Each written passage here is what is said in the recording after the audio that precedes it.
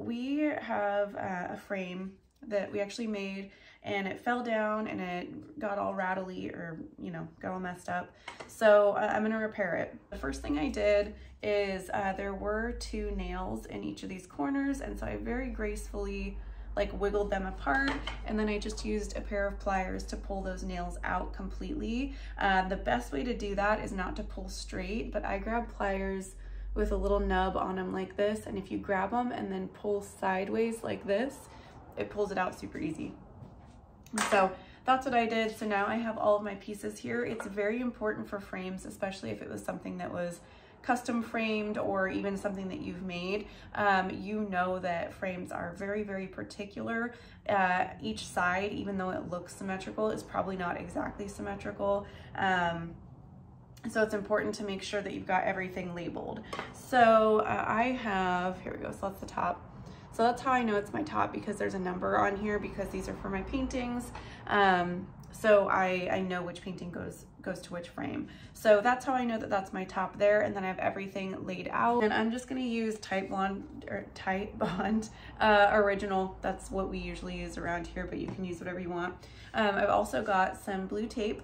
So um, some painter's tape, we always have it around the shop. Masking tape is fine too, whatever you have uh, just laying around. And I already peeled four pieces and set them aside because I don't wanna do that in the middle of doing what I'm doing, right? So uh, first things first, we've got it all laid out and everything. You don't need a ton of glue for this. You only need just a little bit of glue because you're gonna nail the corners anyways. So it's just an extra layer of reinforcement is all you need, okay? So we've got our first layer here, and that's literally how much glue I'm putting on there. Um, and then I spread it with my finger just a little bit to make sure it's gonna get maximum coverage. And then I wipe that on whatever's closest to me. Um, and I stick these little guys together, match them up perfect. Actually, gonna do it this way because this is a more precise way to do it. So if you lay them down like this and make sure you butt your edges up perfectly. There we go. And then lay it on the tape there. Then when you do this, you should line up precisely. Perfect. Okay. So there we go. We got one.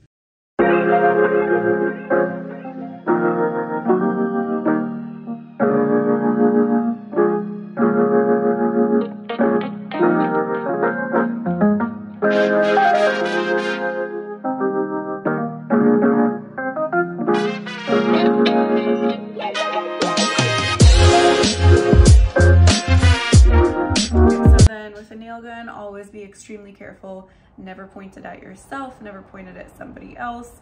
It just be very, very safe with it and very cautious. Never put your hand on the other side of anything that you're nailing.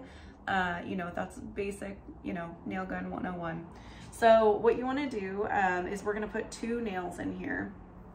And the first one, this up so you guys can see. Um, so the first one, we're gonna go this way directly in. And then the second one, we're gonna go this way directly in, and then that will create a little clamp in there so they can hang on to each other.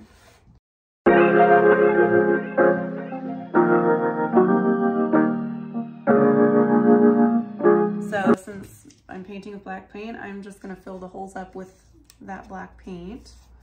You can use wood putty if you want to, or honestly, you can leave them if you want more of a rustic uh, look.